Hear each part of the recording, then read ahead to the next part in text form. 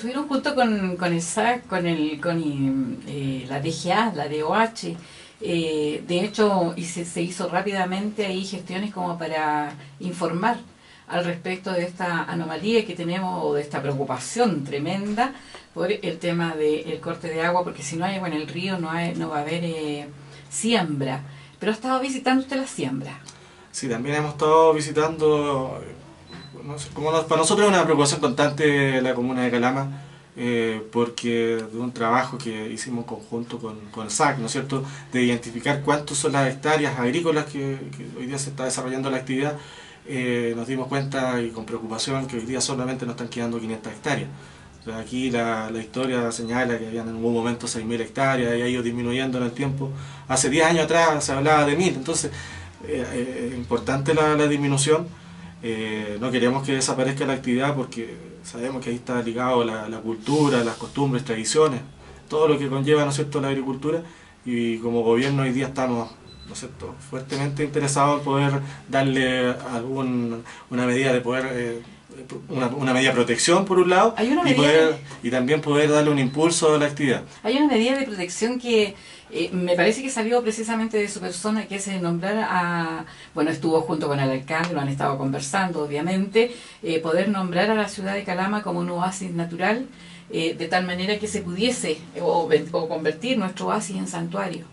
Sí, la verdad que no quiero que se diga que es solamente una, una iniciativa de agricultura, aquí hay un trabajo, como digo, una política de gobierno, hoy día estamos, ¿no es cierto?, involucrados el MIMBU, la Seremía del MIMBU, eh, bienes nacionales, medio ambiente, agricultura, la gobernación, como usted bien lo señala, hoy día importante la participación del municipio, el, alcalde Esteban Velázquez ha participado en las reuniones, le hemos planteado, ¿no es cierto?, esta, esta posibilidad, una alternativa más de protección, porque si bien en el sector rural tenemos una protección, en donde se está desarrollando la agricultura hay un foco importante, es lo que está en la parte rural, no, pues, no se da en otras, se da muy poco en otras regiones que dentro del sector urbano se esté desarrollando agricultura. Entonces ahí tenemos aproximadamente 350 hectáreas y la verdad que esa queremos protegerla. Eh, bueno, trabajando todos en conjunto yo creo que se va a poder. ¿Cuáles son las iniciativas que tendría que tener la comunidad entonces como para que podamos lograr el objetivo? Sí, como le, señalaba, esta es una medida de protección, está dentro de, las áreas ah, protegidas dentro de esta área silvestre protegida, eh, la que tiene menos restricciones podríamos llamarlo, porque ya un parque es algo muy... y no, no se da en esta figura porque recordar que dentro de lo que se está planificando hay sectores privados, ¿ah? los agricultores ahí son importantísimos. Eh, primero le preguntamos a ellos, ¿no es cierto? O sea, esta, esta idea de proteger a Calama como oasis nace, ¿no es cierto?, de esta conversación en conjunto con los agricultores. Los agricultores nos señalan, sí, nosotros estamos disponibles a una medida de protección, esta medida de protección la, la, conversamos, la, expusimos y ahora lo que procede es trabajar en conjunto, ¿no es cierto?, el marco regulatorio y que obviamente que después pase al, al, Ministerio de, Medio Ambiente previo a una presentación del alcalde o de la municipalidad y eh, la firma de la, de la presidenta. Eso es el, trabajo que tenemos que desarrollar. Estamos en la etapa, ¿no es cierto?, de poder eh, empezar a hacer las definiciones, la declaratoria de, las voluntades, tenemos las voluntades políticas, tenemos las voluntades de los agricultores, la más importante, la esencial. Usted es conocedora del rubro, así que lo puede señalar con más, propiedad, que hoy día ustedes están en esa cruzada, así es que todo, la verdad que estamos remando en ese sentido. al mismo lado. Eh, don Jaime, usted carameño. Eh, por lo menos radicado. Sí, eh, me adoptaron a esta ciudad, soy muy agradecido, la verdad, a la provincia del Loa en general todo mi, desarrollo profesional estaba acá, mis 17, 18 años, de ingeniero agrícola, lo he desarrollado acá en, la, en la comuna, en la provincia. Y hoy día en la región, porque la verdad que he visto proyectos en Taltal, eh, me ha tocado ir a Quillagua, desarrollar proyectos en Antofagasta, pero principalmente el foco ha estado en Calama, las comunidades de Alto Lua y San Pedro de Atacama. Por lo tanto, había una visión previa de, esta cartera que está asumiendo en el día de hoy y que es la principal autoridad de la segunda región. Sí, la verdad que yo pongo a disposición, ¿no es el conocimiento técnico, pero usted sabe que este es un trabajo político y ahí también hay un trabajo eh, y un respaldo también de, un partido en el cual hoy día también tenemos que dar cuenta y obviamente que estamos muy en sintonía porque afortunadamente nuestro ministro de Agricultura, eh, puedo decir que es de los nuestros, también es socialista y la verdad que ahí tenemos una mirada mucho más social. Hoy día, de hecho, eh, la, postura que tenemos como, como ministerio está orientada, ¿no es cierto?, a la pequeña y la pequeña y mediana agricultura, pero muy fuertemente a la agricultura familiar campesina. Se ha estado tratando de rescatar algunas cosas que se como que se había perdido en algún minuto, como por ejemplo esto de seguir trabajando en conjunto, hacer este tipo de minga, donde la gente de una u otra manera vayan entre todos a poder, porque hay una escasez de mano de obra. Sí, eh, ahí dentro de lo que señalado la Presidenta, que son las desigualdades, el campo no está ajeno a, este, a estas desigualdades nosotros tenemos la tarea, pues romper esta barrera, esta desigualdad, eh, o aportar a ello. Y en ese sentido, la, minería en esta región se llega al fuerte, al grueso de la mano de obra, y la verdad que hay una no sé, por un desinterés, ¿no es cierto?, muchas veces de trabajar en la agricultura. Cuando la agricultura es tan importante, lo más importante. Son el granero, ¿no es cierto?, del norte, usted Calama, ¿no es cierto?, todo lo que saca de la agricultura, todo lo que sale de acá, las hortalizas son para abastecernos, ah, abastecer la minería, si no, son importantísimas. Vamos a tener energía para seguir trabajando. Eh, Seremi, bueno, nosotros agradecerle esta visita que ha tenido para acá, pero nos gustaría contar, esto hoy día. Están ustedes en terreno, a nosotros nos interesa, bueno, lo vemos constantemente, si bien es cierto que uno tiene conciencia de que no es la única parte, son nueve comunas donde hay que estar atento, eh, cada uno hay que darle una respuesta, cuál más, cuál menos, eh, se tiene una meta también de, de trabajo, usted la debe tener ahí en me imagino en la mesa y, va tratando de que la cosa vaya marchando. Sí, tenemos un montón de iniciativas, la verdad que nos faltan horas del día para, poder trabajar y poder dedicarle tiempo a todo, eh, pero sí contarle, ¿no es cierto?, que nuestra principal preocupación hoy día es poder destacar que existe la agricultura, o sea, visualizarla. Yo creo que por mucho tiempo la agricultura estuvo como muy así, hay un par de personas que están haciendo algo. La verdad no, mostrar que acá tenemos el Club de Rodeo, segundo más antiguo de Chile, después del Gil de Telier. Tenemos la Asociación de Agricultores más antigua de Chile, ¿cierto? Eh, la verdad que eso, eso hay que destacarlo, hay que mostrarlo a, la, a la ciudadanía, ¿no es cierto?, a la comuna, como digo, a la región, y al país. Yo creo que ese, esa etapa ya eh, durante este trabajo de este año eh, ha sido eso, posicionar agricultura eh, dentro de, del gabinete regional. Yo le, cuento una anécdota, vino la presidenta, ¿no es cierto? Y tuvimos un gabinete con ella, pudimos compartir. Y después viene la foto protocolar, ¿no es cierto?, donde se saca todos los seremis, el intendente y, y todo lo, la, la seremía. Entonces viene el jefe de gabinete de la, de la presidenta, pone todos sus papelitos ahí Seremi tanto, Seremi tanto, y agricultura no estaba. Entonces, la verdad que ahí ya dijimos el primer día está cuesta arriba la, la pega. Y la pega tiene que ir en, ese, en esa línea.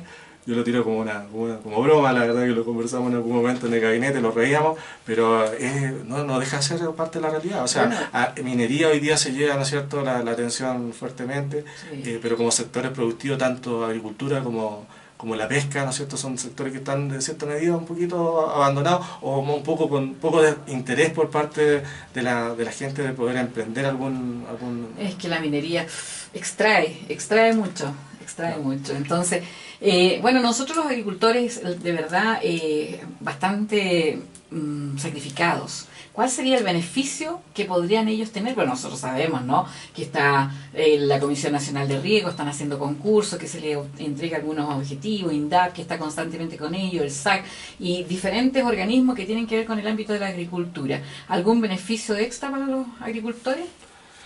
Sí, o sea, el hecho de poder eh, concretar esta, esta medida de protección para Calama, principalmente, voy a orientar a Calama, que si esta, esta medida de protección eh, se pueden hacer un, montón de, estudios, eh, se pueden meter recursos, incluso lo conversamos. Hoy día el foco es poder eh, mantener estas 500 hectáreas que nos quedan, pero no olvidar que también dentro de este trabajo que hizo el SAC se, señaló que hay aproximadamente 750, 800 hectáreas que están en abandono. Que están en abandono por diversos motivos. Uno puede ser por la venta de los, de los derechos de agua, el otro puede haber sido, ¿no es cierto?, por, o por desinterés, ¿no es cierto?, porque la actividad a lo mejor no le está rentando y a lo mejor había otras, otras actividades que en este rato le, están llamando la, más la atención y están generando más recursos. Pero, como digo, la primera, poder eh, generar esta medida de protección porque ahí vendría acompañada, ¿no es cierto?, con recursos para poder hacer estudios que esto nos puedan permitir ver qué inversión tenemos que desarrollar. Ahora, tenemos nuestro fuertemente el trabajo de INDAP, de destacarlo también, muy reconocido por los agricultores, hoy día dentro del Ministerio de Agricultura INDAP, la que más tiene una visualización, ¿no es cierto? Porque está en un trabajo de la mano con los agricultores, está entregando bonos, está entregando asistencia técnica, eso hay que mantenerlo y reforzarlo. Nosotros a través de esto de poderle mostrar al subsecretario, al ministro, sensibilizar un poco eh, hemos logrado que aumente, incremente un poquito el presupuesto para la región, que esa es una, una parte. Pero la otra parte, ¿no es cierto?, que los programas que se desarrollen vayan orientados a lo que quiere la gente, a lo que quiere desarrollar, y ahí también eh, no se le lleva toda todo el trabajo del, gobierno. La verdad que eh, los emprendimientos de, ustedes, de los agricultores, la verdad que es importante porque nos van a marcar la, hoja de ruta de dónde tenemos que colocar los recursos, donde sea más eh, ¿no cierto? rentable de cierta medida y poder tirar hacia arriba el, sector agrícola que nos, que nos está interesando hoy día. Ahí estamos, con el recuerdo del agua, con todo el acontecer del trabajo que tiene que ver también de alguna manera con, el, con la Seremía de Agricultura. Eh, queremos agradecerle esta visita a Seremi, decirle que las puertas están abiertas, el día que usted estime conveniente nos llama previamente, nosotros seguramente que vamos a tener más informaciones, algunas más precisas, eh, pero agradecerle porque de verdad el hecho de que usted lo diga con sus propias palabras, de que se está trabajando para la agricultura, con la agricultura, de la mano y hay un, hay un, una preocupación y mucho más cuando nos vemos que que la agricultura comienza de la cuarta región para allá y a nosotros mucha minería, astronomía, ¿ah? eh, así es que que se haga prevalecer la agricultura realmente es muy beneficioso. Los micrófonos para que se despida. bueno, agradecerle la, oportunidad como siempre, ¿no es cierto? Nos ha dado el, espacio para poder eh, mostrar lo que estamos realizando, poder, ¿no es cierto?, en esta cruzada de poder levantar el sector agrícola en la región para que no desaparezca para que no se desaparezca lo que planteaba yo al principio, ¿no es cierto?, todo lo que son las costumbres y tradiciones que están arraigadas, ¿no es cierto?, y que están de la mano con la agricultura. Si desaparece la agricultura, va a desaparecer la cultura que tenemos acá tan rica en la, segunda región. Eh, ¿No es cierto?, agradecer la, el ofrecimiento, la verdad que lo vamos a tomar porque tenemos algunos anuncios que hacer en la comuna de San, Pedro de Atacama, principalmente con lo que tiene que, ver con la motivación hacia los jóvenes. Estamos desarrollando un trabajo muy interesante con el Liceo Agrícola de San Pedro, que la verdad que en los últimos años tenemos que reconocer lo que del, Liceo Agrícola nos estaba quedando solamente el nombre, una muy baja matrícula y la verdad que queremos motivar a, a los muchachos porque ahí está creo que el foco, eh, lo ha dicho la presidenta, la principal reforma la reforma educacional. Y nosotros ahí también queremos dar nuestro aporte desde la agricultura, pudiendo levantar el liceo, pudiendo a lo mejor generar eh, investigación a través del FI, a través de líneas, instituciones que en este tiempo no han estado muy presentes en la región. Queremos rescatar ese trabajo y que pueda estar presente y mejor, ¿no es cierto?, con ahí con los jóvenes para poder desarrollar a futuros profesionales, técnicos para nuestra región. Así es que agradecerle y hacer esta eh, ¿no cierto? aprovechar la instancia como para comprometerme ¿no cierto? próximamente a, una vez que ya tengamos concretado la firma de convenio y todo y empezar a desarrollar el, trabajo y venir a presentarlo acá a su radio que siempre hemos tenido ¿no cierto? la facilidad y la, disposición por parte de ustedes para, para dar a conocer estas cosas. Muchas gracias. Ahí estábamos entonces con la voz del Ceremi de Agricultura, don Jaime Pinto, principal voz de la segunda región, en la lucha también por el oasis del santuario de la naturaleza, que es un tema que estamos trabajando entre todos y donde usted también cuente y es principalmente uno de los adeptos que queremos que, se, que como auditor eh, se implemente, se forme en la fila para que podamos lograrlo. A ustedes le agradecemos la sintonía y por